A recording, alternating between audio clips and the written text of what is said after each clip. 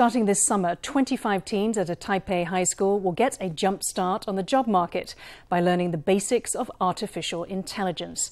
Taipei's Zhongzheng High School signed an MOU with a local university and tech company to train the next generation of AI talent. Under this project, high school students will take intensive AI courses and take on hands-on projects led by Siemens. They'll graduate from the program and from high school with one of the most in-demand skills in the tech sector.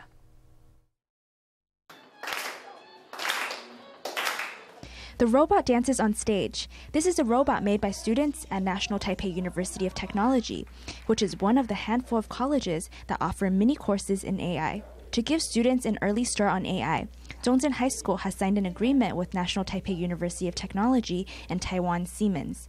Under the agreement, high school students will take AI courses created with the help from the university. They'll apply what they've learned under the guidance of Siemens Taiwan, the Taiwan branch of a global technology company.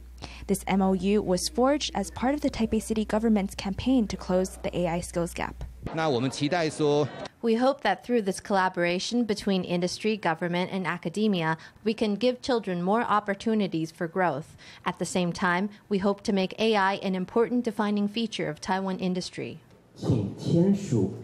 This program is the first of its kind. 25 students will be selected each year to take AI courses provided by the college. The 20 credit course will be a mix of mandatory classes, after school tutoring, summer courses, and flexible learning. The teens will learn about data exploration, machine learning, visual recognition, and more develop their logical thinking and uh, critical thinking, and then they can use their thinking and their imagination to create a project-based. Um, so. Uh, I, I, I seek some of the resources from the university and from the uh, company.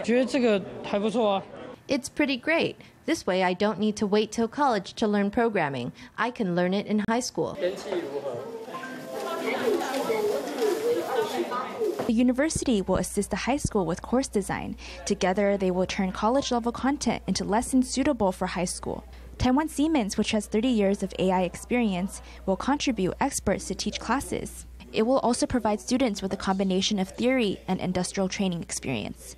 We have already applied this training program in Germany to, to different, let's say, educational institutes, and we are just bringing this curriculum to Taiwan and to support, to educate also the local talents with especially AI technologies.